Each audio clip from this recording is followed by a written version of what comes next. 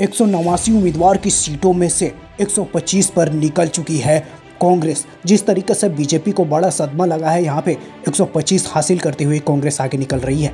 बता दें कि भाजपा के वरिष्ठ नेता कर्नाटक के पूर्व मुख्यमंत्री बी एस येदियुरप्पा ने बुधवार को बड़ा दावा किया कि उन्होंने अपनी पार्टी बड़ी से बड़ी सीट हासिल कर रही है और वो भी कर्नाटक में। लेकिन बताया जा रहा है कि कांग्रेस ने एक सौ पच्चीस से अधिक सीटें हासिल कर सकती है और जिस तरीके से एक सौ नवासी सीट बीजेपी निकाली थी, लेकिन उनमें से एक सौ पच्चीस हासिल कांग्रेस कर चुकी है। कांग्रेस की सरकार यहाँ कर्नाटक में देखने को मिल रहा है। जिस तरीके से बताया जा रहा है कि येदियुरप्पा ने कहा कि यहाँ अपनी इच्छा के अनुसार ही सरकार होगी, लेकिन कांग्रेस का दावा है कि हर अंतर्राष्ट्रीय और जिस तरीके से बार बार दावा किया जा रहा है कि संगठन बनाएँगे संगठन बनाएँगे, लेकिन यहाँ सिर्फ़ कांग्रेस का संगठन ही काम करेगा। वहीं कर्नाटक के पूर्व मुख्यमंत्री और छह बार के भाजपा विधायक जगदीप सेट्टार के बारे में भी बात करते हुए उन्होंने कहा कि जिनका नाम पार्टी के पहली सूची में नहीं था उनका नाम दूसरी सूची में आने की अधिकतम संभावना है। लेकिन बताया जा रहा है कि कांग्रेस नब्बे फ़ीसदी यहाँ पे वोट अपने तरफ़ कर रही है।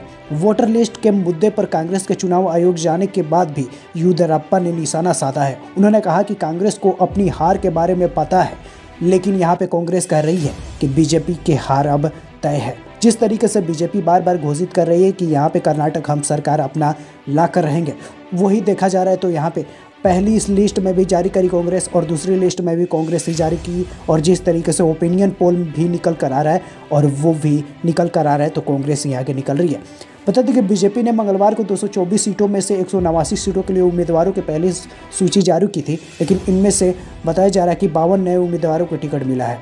जिस तरीके से बताया जा रहा है कि भाजपा आगे निकल रही है तो उसको दबाने के लिए कांग्रेस अपना हर रणनीति तैयार करती हुई दिखाई दे रही है और वो कांग्रेस हर काम पे अपना जर्जर बनाई हुई है और बीजेपी को गिराने में ही वो आगे चल रही है। तो इसको लेकर आपके मन में क्या सवाल है? नीचे कॉमेंट बॉक्स में हमें ज़रूरत है और आपने अभी तक चैनल को सब्सक्राइब नहीं किया हो तो कर सकते हैं।